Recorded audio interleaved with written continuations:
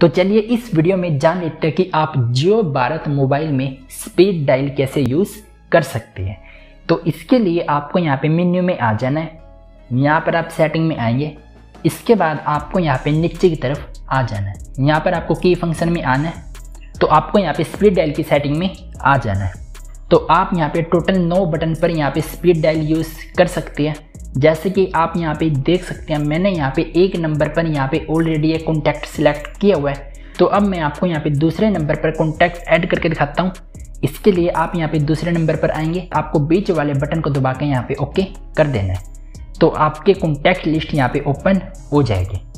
अब आपको जो भी नंबर स्पीड डायल में लगाना है, उस नंबर पर आपको यहाँ पे आ जाना है। अब आप यहाँ पे बीच वाला बटन दबाएँगे तो आपके सामने दो ऑप्शन आएँगे कॉल का और मैसेज का। आप स्पीड डायल में उस बटन को दबा के क्या करना चाहते हैं? उसके पास मैसेज भेजना चाहते हैं या फिर कॉल करना चाहते हैं? तो हम कॉल करना चाहते हैं। कॉल को यहाँ पे सिलेक्ट करेंगे।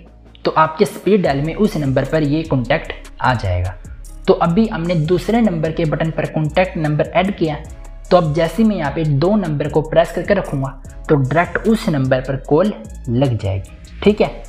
स्पीड डायल की सेटिंग में डायरेक्ट पहुँचने का एक और तरीका है। आपने जिस भी नंबर पर स्पीड डायल सेटिंग नहीं लगाई हुई है, आपको उस बटन को दबा के रखना है तो डायरेक्ट आप स्पीड डायल की सेटिंग में आ जाएँगे, जहाँ पर आप किसी भी बटन पर कॉन्टैक्ट नंबर ऐड कर सकते हैं।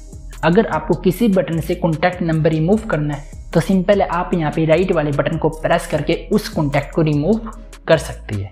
तो ये थी स्पीड डायल की पूरी सेटिंग।